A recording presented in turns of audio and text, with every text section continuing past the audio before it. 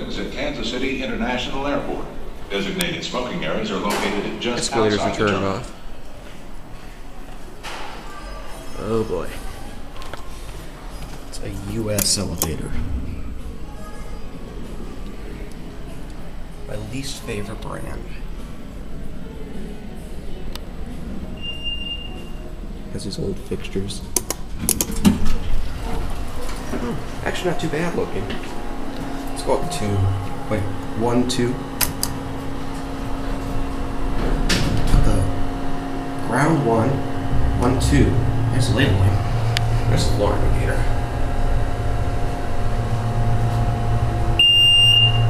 Loud.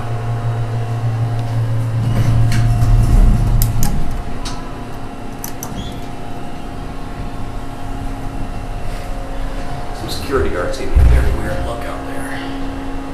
There's a ceiling, it's basic. Why would I expect cheese? No working chimes. Typical US elevator quality.